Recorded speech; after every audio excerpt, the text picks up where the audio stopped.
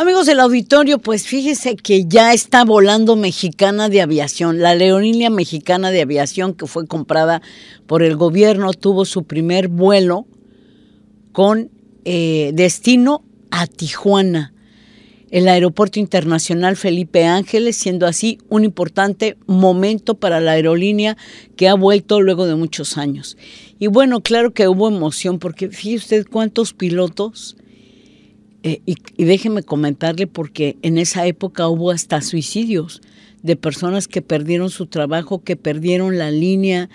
y que eh, por lo menos la marca que viene siendo mexicana de aviación y algunas de las personas eh, todavía que, que las contrataron justamente para llegar a este primer vuelo. Para algunas personas esta línea mexicana no dice nada para jóvenes o para gente que no conoció la historia de Mexicana de Aviación, para quienes la conocimos y tuvimos incluso familiares pilotos y gente que estuvo por muchos años. Cuando usted llegaba al Aeropuerto Internacional de la Ciudad de México, todo el área de Mexicana de Aviación tenía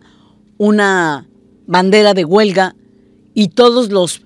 pilotos, sobrecargos, personal, estuvo vendiendo y se estuvieron sosteniendo de que vendían café, que vendían galletas, que vendían souvenir, ya no sabían qué vender para poder cubrir algunos sus gastos porque se quedaron sin trabajo. Por lo pronto, ya vuela Mexicana de Aviación.